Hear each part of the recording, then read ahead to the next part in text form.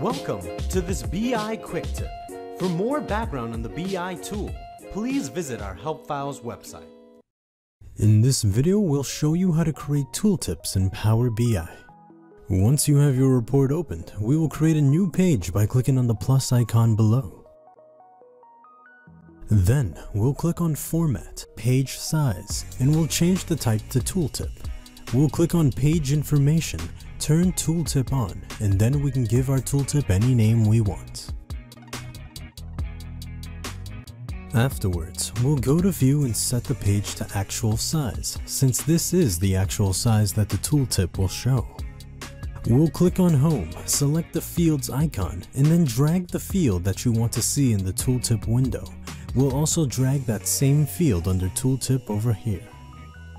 Now, if we go back to our report, we can select the element we want the tooltip to show for.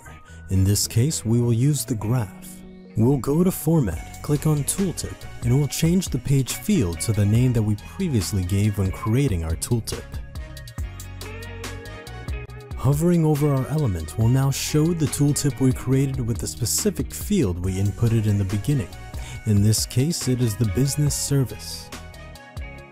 If you ever wanted to change the tooltip, go back to that page we created, click on the three dots here and select remove.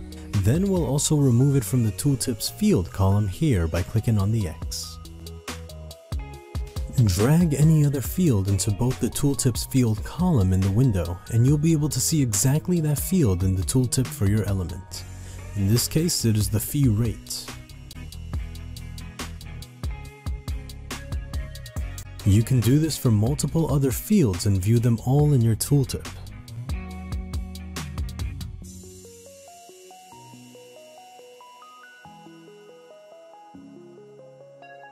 Thank you for watching this episode of the BI Quick Tips series. You can find all BI Quick Tip videos on the Help Files website. Until next time.